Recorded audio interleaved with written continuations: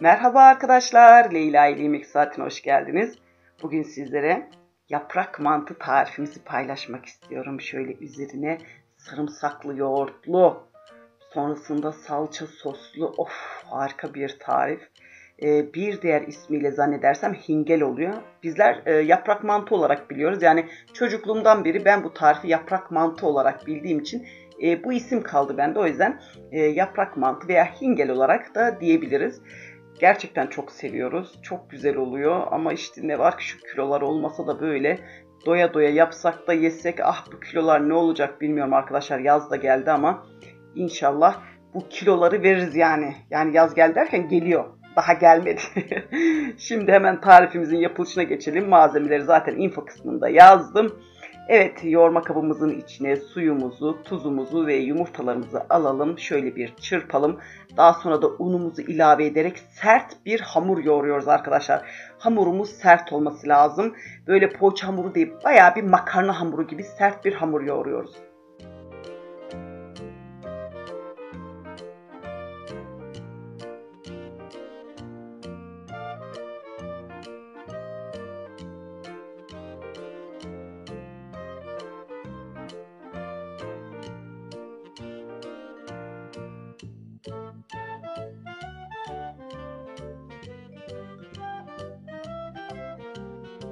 Hamurumuzu güzelce böyle sert bir kıvamda yoğurduktan sonra üzerini kapatalım. Böyle bir yarım saat kadar dinlenmeye bırakalım. Yani mayalanması değil, hamurun dinlenmesi lazım. Daha güzel açılabilmesi için her hamurun dinlenmesi şart arkadaşlar. Yoksa öyle yufka gibi açamayız. Şimdi hamurumuzu yoğurduk. Üzerini kapatalım ve dinlenmeye bırakalım.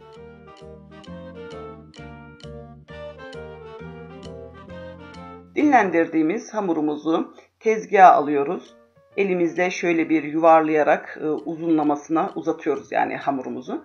Sonrasında da arkadaşlar böyle bir portakal büyüklüğünde bezelere kesiyoruz. Portakal büyüklüğünde olması daha iyi olur. E, çok küçük keserseniz çok fazla yufka açmak zorunda kalırsınız. O yüzden bezelerinizi büyük tutun. Daha sonra da kuntlayıp yani yuvarlayıp tekrardan e, kenara alıyoruz. Üzerini kurumaması için kapatıyoruz. Ve yine böyle bir 5-10 dakika kadar dinlenmeye bırakıyoruz.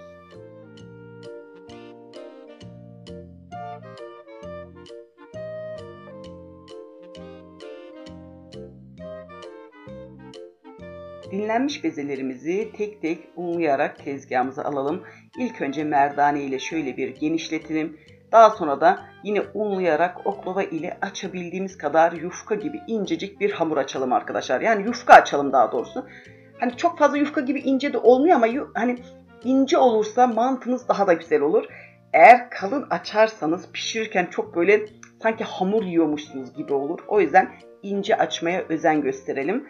Ee, bir de şunu da söylemek istiyorum arkadaşlar. Bu tarif e, bildiğiniz e, içli mantı tarifidir. Hani içine kıyma harcı koyuyoruz ya aynı tariftir. İsteyen içli de yapabilir, isteyen böyle bizim gibi kolaya kaçıp yaprak mantı olarak da yapabilir. Evet yufkalarımızı açtık görmüş olduğunuz gibi incecik bir şekilde. Sonrasında da sofra bezinin üzerine biraz e, kuruması için, kendini çekmesi için yufkalarımızı serelim. Böyle 1-2 saat kadar dinlendirelim. Kuruyan, kendini çeken yufka pişerken inanın yapışmıyor suyun içinde. O yüzden bu püf noktasına dikkat etmenizde önem var. Şimdi yufkamızı kuruttuk. Ee, tezgaha alalım tekrardan. içini unlayalım. Oklavamıza saralım ve bıçakla bu şekilde kesiyoruz uzunlamasına. Sonra içinden oklavamızı çıkartalım ve ortadan tekrar uzunlamasına keselim. Ee, içini tabii ki unlamayı unutmuyoruz. Ondan sonra da üst üste koyalım ve üçgen şekilde keselim.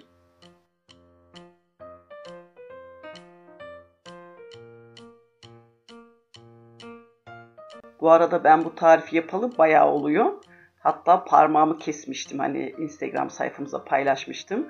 Ee, şu an pa- parmağım şeyli bantlı. Sağ sol keserken parmak cart diye gitmişti. Siz dikkatli olun. Evet üçgen şekilde kesiyoruz e, mantılarımızı. Böyle suda haşlarken tane tane olabilmesi için dediğim gibi yufkalarınızı kurutursanız daha da mükemmel yaprak mantı elde edersiniz. Arkadaşlar şimdi mantılarımızı keselim. Şöyle bir elimizde iyice tezgahta dağıtalım. Serelim tezgah. Sonrasında e, mantımızın üzerine kullanacağımız sosumuzu yapmak için tenceremizin içine tereyağımızı alalım, eritelim, içine de salçamızı katalım ve şöyle güzelce ikisini birlikte bir kavuralım.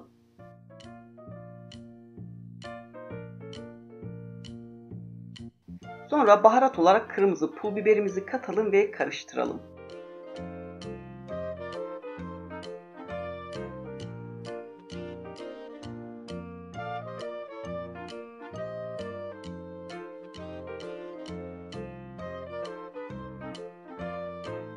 Sosumuzu hazırladık. Şöyle kenarda beklesin. Şimdi mantılarımızı pişirmeye geldi sıra. Tenceremizin içine bolca su koyalım. İçine de tuzumuzu atalım arkadaşlar. Tuzu fazla atabilirsiniz. Ee, çünkü yoğurdun içine tuz katmıyoruz. Sosun içinde de tuz yok. O yüzden tuzu böyle az kullanmayın. Biraz da sıvı yağ atalım ki mantılar yine böyle yapışmasın diye sıvı yağ da atalım. Sonra suyumuzu güzelce bir kaynatalım. Kaynayan suyumuzun içine üçgen şekilde kestiğimiz yaprak mantılarımızı atalım. Güzelce de bir karıştıralım. Arada da karıştırmayı ihmal etmeyelim ve mantılarımızı pişmeye bırakalım.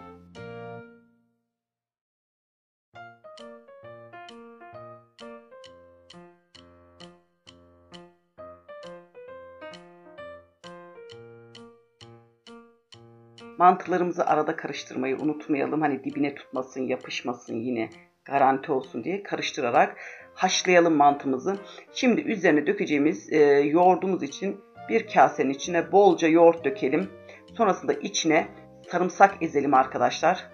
Güzelce bolca bir sarımsak da ezelim. Sarımsak şart. Sarımsaksız mantı düşünemiyorum yani. Sarımsaktan sonra şöyle güzelce bir çırpalım, karıştıralım ve haşlanmış mantımızı süzüyoruz. O kısmı maalesef çekemedim. Çok şey oluyor, karışık oluyor. Ben haşladım, güzelce süzdüm. Süzdükten sonra da böyle borcama döktüm mantımızı görmüş olun. Oh sıcacık mis gibi tane tane. Ondan sonra da üzerine sarımsaklı yoğurdumuzu döktüm. Her tarafına gelecek şekilde dağıttım, düzledim. Ve e, yine salçalı sosumuzu pişirdiğimiz salçalı sosumuzu da üzerine gezdirerek döktüm arkadaşlar. Ve bitti.